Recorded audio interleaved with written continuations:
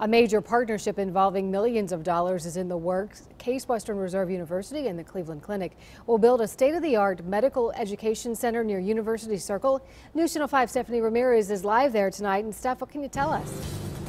Well, Tracy, we're right outside of the Cleveland Clinic on East 93rd and Chester Avenue, uh, East 93rd to uh, 100th Street, Chester and Euclid. That's where this state-of-the-art building is supposed to go up. It's an estimated $80 million project expected to bring uh, medical programs, two different ones that already exist in two different locations, to one location here. And I spoke with the deans with both medical schools. They say that this building will have everything from outlets to every seat or outlets at every seat in a lecture hall to the latest technological advances like robotic surgery, which is something doctors practice, but they say they don't necessarily have access to in medical school.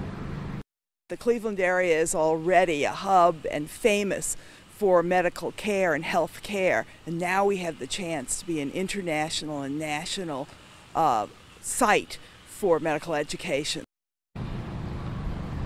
Now, of course, this project uh, is uh, without its, or not without its complications. That is, there is a uh, guest hotel over here that's going to be have to taken, uh, going to be taken down. There's also a parking lot there as well, but they are hoping to break down in 2014, break ground that is, and finish construction in 2016. We're live on East 93rd and Chester Avenue. Stephanie Ramirez, News Channel 5.